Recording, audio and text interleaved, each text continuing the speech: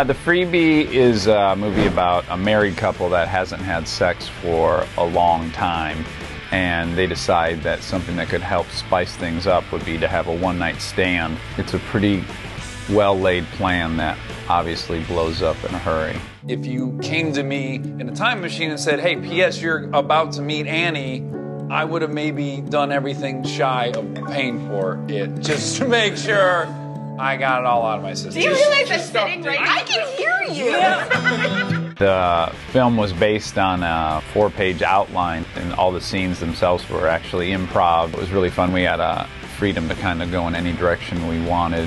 I had not met Katie Aselton, who's the, the director and the lead actress opposite myself, until the day we started shooting. We filmed the following day all these intimate bedroom scenes that went on and on for hours, laying in bed, snuggling and whatnot, and uh, yeah, I didn't even know each other.